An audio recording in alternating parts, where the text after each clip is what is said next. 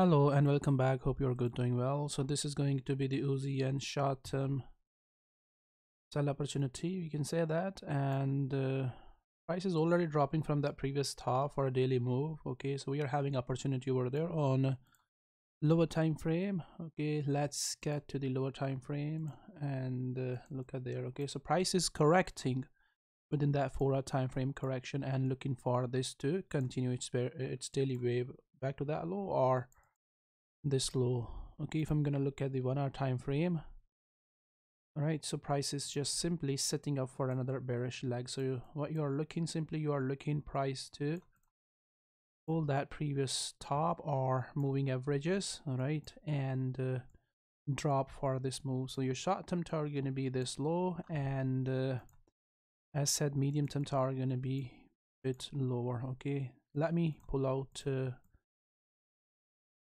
lines. Right so you can look for target at 27 or at this previous low. Right you can look for target at this previous low for short term all right or at 27 or medium term target all the way back to that previous low.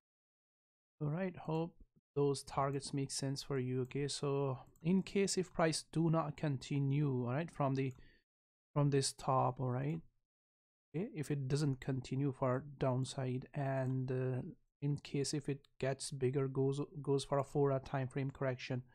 Right now i'm not anticipating this you know to this correction to get bigger for a four hour time frame all right if it if it goes for a bigger four hour time frame correction so setup is not going to change so setup still going to be a bearish one okay? So what you are looking right now you are looking this 15 minute correction to break down for the downside.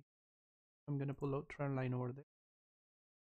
This 15 minute correction to break down sharply and continue to keep dragging lower. Okay, in case if it slightly gets bigger like that, still keep looking for this 15 minute correction breakdown and your short term target. So hope that makes sense. We'll see you back again in another setup. Until then, bye.